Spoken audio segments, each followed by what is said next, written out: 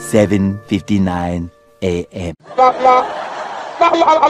Five minutes later.